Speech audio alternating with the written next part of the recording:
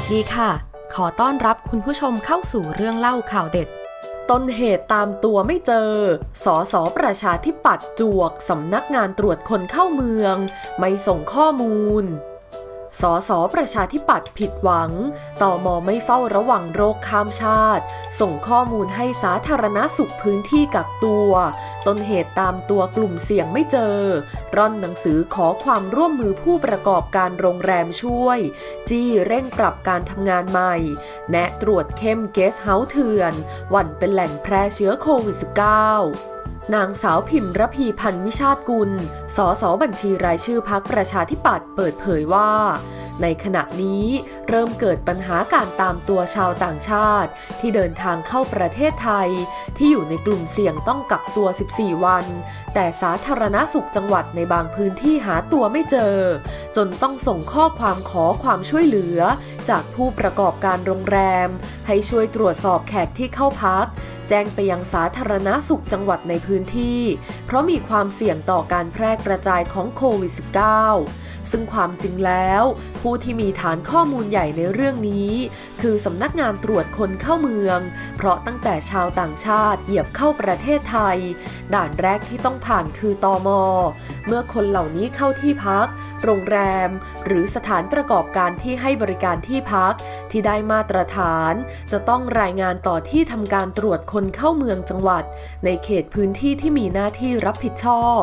ตามแบบตอม30 ทันทีที่มีชาวต่างชาติเข้าพักอาศัย เคยอภิปรายในสภาว่าตอมอควรปรับบทบาทการทำงานในเชิงรุก จากที่เคยมุ่งเรื่องอาชญากรข้ามชาติ มาเพิ่มการเฝ้าระวังโรคข้ามชาติ ด้วยการส่งต่อข้อมูลที่ได้จากโรงแรม สถานประกอบการให้สาธารณสุข ในแต่ละพื้นที่ ได้ข้อมูลที่เท่าทันสถานการณ์ ซึ่งจะเป็นประโยชน์อย่างยิ่งต่อการเฝ้าระวังโรคแต่ที่น่าเสียดาย เสนอไปตั้งแต่เดือนมกราคม การแพร่ระบาดยังไม่หนักหนาเท่านี้ ถ้าตอมอทำตามก็จะไม่เกิดเหตุที่สาธารณสุขในบางพื้นที่ ตามหาตัวชาวต่างชาติ ที่อยู่ในกลุ่มเสี่ยงไม่เจอ มาเริ่มทำในตอนนี้ก็ยังไม่สาย จึงอยากให้ตอมอพิจารณาข้อเสนอนี้ เพื่อนำไปปรับในการทำงานด้วย นางสาวพิมพ์ระพีกล่าว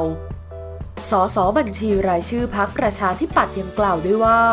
สถานประกอบการดำเนินการตามกฎหมาย แต่ยังมีเกสต์เฮาส์เถื่อน หรือโรงแรมขนาดเล็ก ที่ไม่ปฏิบัติตามกฎหมาย ไม่มีการรายงานการเข้าพักของชาวต่างชาติให้ตอมอรับทราบ ก็จะกลายเป็นช่องโหว่ที่อาจกลายเป็นแหล่งแพร่ระบาดของเชื้อโควิด -19 ที่ยากต่อการสอบสวนต้นต่อได้ เนื่องจากในขณะนี้ โรงแรม สถานประกอบห้องพัก รัฐไม่ได้สั่งปิดกิจการ ดังนั้นต้องมีการตรวจสอบอย่างเข้มข้น ขอขอบคุณข้อมูลดีๆ จากสยามรัฐ อย่าลืมกดติดตามพร้อมทั้งกดรูปกระดิ่ง เพื่อแจ้งเตือนเรื่องใหม่ๆ จะได้ไม่พลาดรายการเรื่องเล่าข่าวเด็ด ขอบคุณที่รับชม แล้วเจอกันใหม่ค่ะ